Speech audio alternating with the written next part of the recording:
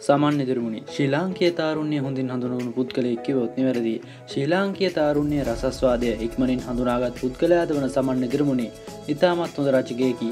ඔහු විසින් දෙවනීනුම සහ සංගීතය යන නාට්‍ය රචනා කර ඇති අතර ඔහුගේ නම ශ්‍රී ලංකාවේ ජනප්‍රියවන්නට හේතුවත් මේ වනවා මීට අමතර ඔහු ටීවි දෙරන නාලිකාවට නැතුවම් බැරි චරිතයක් විහමාරය කවුරුත් මේ දිනවල දක්නට ඇති සමාජ මාධ්‍යවල අස්සක් මුල්ලක් නෑරම නමක් ලියවිලා තියෙනවා.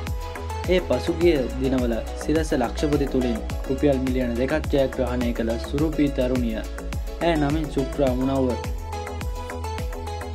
විවිධ විවිධය විවිධ කතා පැවසවා. විවිධ යෝජනා චෝදනා වලට අමතරව ප්‍රශංසා නින්ද ලැබුණා. කෙසේ වෙතත් ඒවා ගණන් ගැනීමට තරම් වැදගත් නැත. ඇයට මිලියන විස්සකගේ ජනතාවක් මහස්සේ ආදරය කරනවා. ඉතින් සමන් ඉදිරමුණි මහතා ඇයට සුවිශේෂී තෑගක් ලබාදී තිබෙනවා. ඒ කුමක් වියහැකිද ශුක්‍රා රංගනයට පැමිණේද?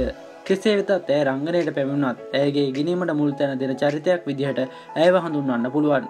මා දකිනා විදියට ඇයට රංගනය පැත්තෙන් නොව ඉගෙනීම අධ්‍යාපනය පැත්තෙන් ගත්තොත් ලොකු සහ පැහැදිලි ගමනක් ඇති බව කියන්න පුළුවන්. ඉතින් අනිවාරෙන් පාලින් කමෙන්ට් එකක්දාන යන්න.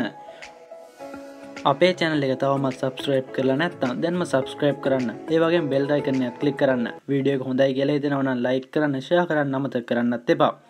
ඉදිරියට මේවා ගැලුත් විඩියගෙන් හමුයමු බඩ සුබ දවසක්.